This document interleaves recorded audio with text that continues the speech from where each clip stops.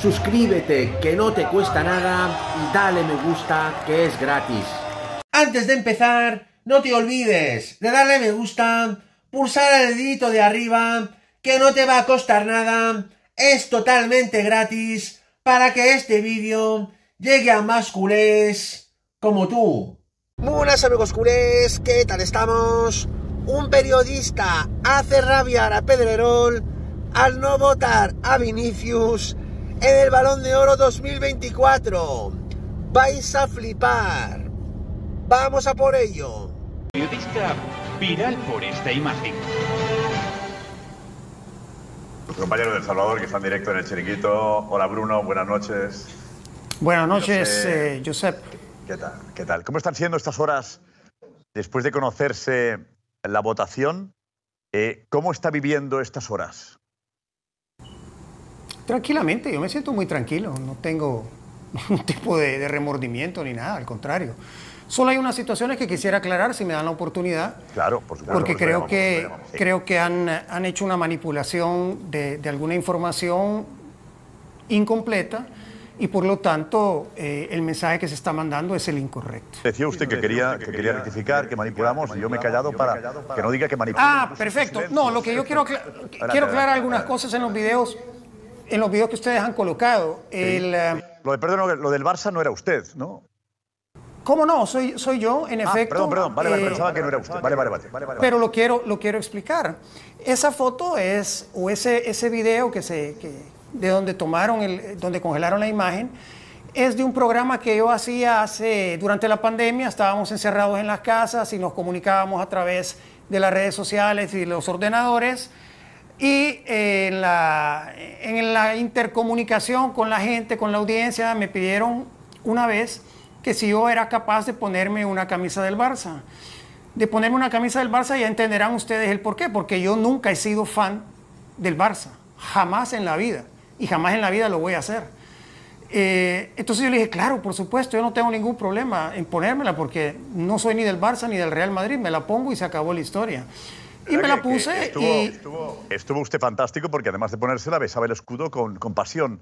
Eh, pero en cualquier caso, al margen, al margen de, de que usted bese con más pasión o no un escudo, que eso es algo que cada uno besa como besa, ¿no? y no vamos a meter en los besos, eh, ¿usted la votación que hemos puesto de los 10 eh, votos son reales? Usted ha dejado fuera a Vinicius. Y en un momento dado dice, es que me da igual que sea el octavo, el noveno o el décimo. Pues no, porque los puntos del octavo son unos, del noveno otros, del décimo otros, y si no le pone no tiene ningún voto. No, es que me da igual el 8, el 9 o el 10. No le pongo. El tono es un poco despreciativo hacia Vinicius, por lo que sea, y con todo el derecho del mundo, noto yo como que a usted le cuesta Vinicius, ¿no? Le cuesta un poquito valorar lo que hace Vinicius, he entendido yo. ¿Puede ser? Eso es, una visión que- que ustedes tienen y, no hay ningún problema. Mi visión es que un jugador que está tratando de, ganar y ganar unánimemente algo, eh, colocarlo en los últimos puestos hubiese sido peor. Igual ustedes hubiesen hecho escándalo colocándolo en la 8, 9 o 10, porque eh, no lo consideran ahí. Yo lo considero fuera de los 10 y por eso no lo coloqué. Colocarlo dentro de los últimos puestos y para mí igual hubiese sido exactamente lo mismo. Claro, a nivel aritmético, a nivel matemático, obviamente eh, pudo haberle ayudado a Vinicius, pero no era mi intención eh, colocarlo dentro de los 10 mejores y así lo hice. Porque usted considera que hay jugadores mejores que él. Y usted considera que Vinicius no está entre los 10 mejores. Por eso le ha puesto el 11, el 12, el 13. Para ustedes, ¿en qué número estaría en el ranking Vinicius? Si quiere, pónganle el 11. El que ustedes quieran, no, para mí no hay problema. O sea, Yo no, yo no, yo no voto, eh, yo no voto el balón de oro, a mí me da igual, absolutamente igual. tiene el 11, Yo lo que digo es que, no, y además usted está en su derecho de votar a quien quiera, pero al decir usted, podría poner el 7, o el 8, o el 9, eh, me da igual. Pues hombre, no da igual, imagínese usted que la votación la pierde Vinicius por dos votos. Pues el me da igual sí afecta a la votación final. Pero entiendo yo cómo funciona France Food, no seré yo el que le diga a usted cómo tiene que votar, porque usted es un periodista de, de muchos años, de prestigio, me dice en El Salvador, y además le agradecemos que esté en directo. Entiendo usted que estamos criticándole por una razón eh, profesional, en absoluto, pero nos llamó la atención y queríamos eh, conocer el que explicara un poquito más, algún detalle más de cómo había sido la votación. Pero, eh, ¿qué os parece? Yo creo que está bien explicado, ¿no? Eh, ¿qué No, yo creo, yo creo que, yo creo que, ¿Eh? Yo creo que Bueno, no le pero bien. Yo creo que no le gusta. votado a Bellingham, ¿no? Como número no- uno. Yo creo que no le gusta, porque al final es verdad que dentro de los tres primeros hay, do- hay dos jugadores del Real Madrid que considera que sí tienen que estar, que son Kroos y Bellingham. Con lo cual, lo que él dice del tema del Barça, pues bueno, eh, si lo dices así, eh, pues si no lo mete a ningún jugador del Real Madrid directamente. Ahora, que Vinicius no esté entre los 10 jugadores primeros choca bastante. Te puede gustar más o menos, pero que no esté entre los 10 primeros con el año que ha hecho, pues a mí me choca. Pero yo entiendo que a él directamente es que no le gusta.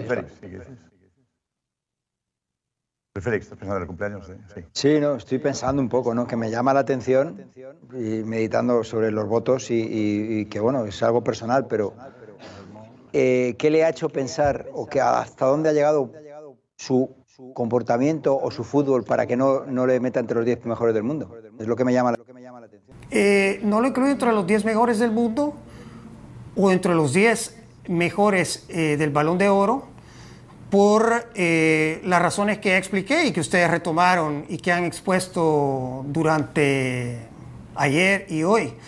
Eh, me parece un jugador que se limita a jugar en una zona específica del terreno de juego, es veloz, es gambeteador,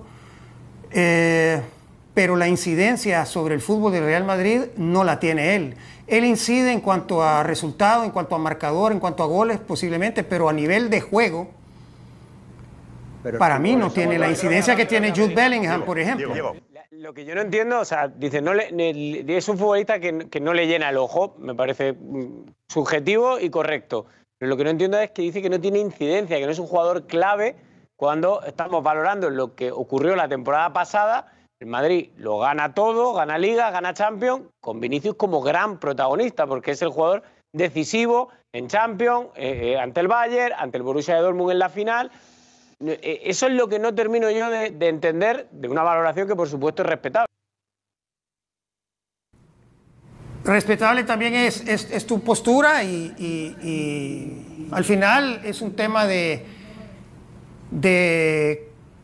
de análisis cuantitativo y de análisis cualitativo. Para mí, a nivel cuantitativo, empecé a revisar todos los goles que había anotado Vinicius, por ejemplo, en la, en la liga y estamos hablando de Almería, estamos hablando de Getafe, estamos hablando, sí, a uno al Barça, otro al Atlético, pero la gran mayoría de goles son a equipos de, medianía de tabla hacia abajo. Eh, y los goles en Champions League eh, son producto del juego del equipo, o sea, sin el equipo él no los hace.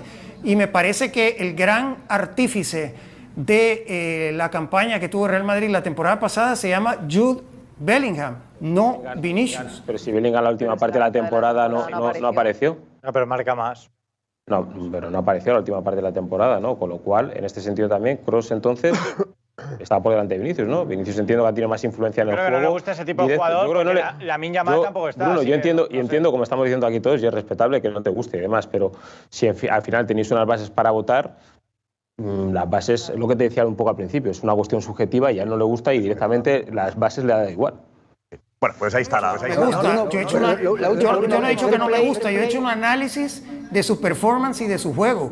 Que no le gusta. No, es- no he dicho que no me gusta. No, que le parece el 11. Vale, que No, quede claro. Venga. sí, es que nuestro- algunos compañeros de aquí han incidido mucho en el fair play como algo decisivo, para- no en su voto, digo en general. ¿Usted lo ha valorado, ha ido valorando jugador por jugador el fair play de cada jugador? Por supuesto, el filtro, el filtro se pasa a, todos los jugadores y creo que, que Vinicius eh, está muy lejos de tener una actitud y un comportamiento que reúne todo lo que se le pide a una persona para que tenga fair play dentro del campo. Así que eh, sí, por supuesto, se filtran a través de las tres grandes premisas que, que le exige el balón de oro. Muy bien. Por ahí queda la opinión. Bueno, aquí aprende de, de Bruno Porcio, que quede claro que quizás ha entendido mal. La verdad de manipulación significa que no hemos explicado muy bien que se puso la camiseta por una apuesta. Porque el vídeo en absoluto está manipulado, el vídeo está muy bien hecho, muy bien explicado, no hay ninguna manipulación, simplemente usted dice que fue por una apuesta que se puso la camiseta. camiseta. Sí, era un reto, era un reto, no es- no- no una pues, apuesta. Era un reto, un reto. con la audiencia, del que lo besa, porque- eh. Pero eso también, en la apuesta estaba el beso también. Es que me estaban diciendo si el beso estaba en la apuesta. Sí, claro. Joder, ¿No? Es, es parte, de la, es parte del, del show, ustedes también hacen su show. Perfecto. No, es parte del show, pero yo les ¿de qué aclaro, o es sea, usted? ¿De qué equipo es usted? ¿Se puede saber de qué equipo es? ¿Es del Madrid o no? yo soy de la, yo no soy de ninguno de los dos, yo soy Ah, del de España, Milan. de España no. No. Me interesa España. Soy no del me interesa, Milan. Soy milanés. No me interesa la liga española. La sigo Ah, porque me ah, gusta ver buen fútbol y a veces hay buenos partidos, pero yo no entro en esa dicotomía y en esa situación, Ya, esa división ya, ya. enfermiza No, que me- me asustaba que hay en España y que hay No, en toda no, Latinoamérica no, no. Claro, entre decir- Barcelona decir- y Real Madrid. Al decir no me gusta la Liga Española me ha asustado, digo, a ver si, a ver si no va a ver los partidos. Pero sí los ve, los ve, ¿vale? Los ve, pero le gusta más la Liga Italiana, que es mucho más emocionante y con más goles. Bruno Porcio, un placer. es más emocionante o con más goles. Es, es, es con la que nací, con la que crecí y es la que a mí me gusta. El cariño, el cariño por encima de todo, el cariño por encima de todo. Bruno Porcio, un placer, ¿eh? De verdad, el chiringuito es su casa, para cuando quiera. Un abrazo muy fuerte, ¿eh? Claro que yo no soy antimadridista y que Hombre, no. por ninguna situación en el mundo soy barcelonista. Lo quiero dejar muy claro y les mando toda mi solidaridad a todas las familias que han sufrido por las inundaciones en España. Acá en El Salvador también se sufre mucho por eso, así que les mando todo mi abrazo y mis, y mis condolencias. Y Vaya ridículo. O votas a Vinicius o eres un antimadridista y del Barça. Y además el periodista es que les ha reventado a todos. Les ha dado unos argumentos de peso del por qué no ha querido votar a Vinicius en el Balón de Oro 2024. En fin, me da a mí que vamos a seguir riendo con este tema y sobre todo con el ridículo de Vinicius en el Balón de Oro 2024. Esto ha sido todo por hoy amigos culés. No os olvidéis suscribirse a mi canal que no os cuesta nada. Pulsar un like como siempre y dejarme comentarios para cambiar opiniones.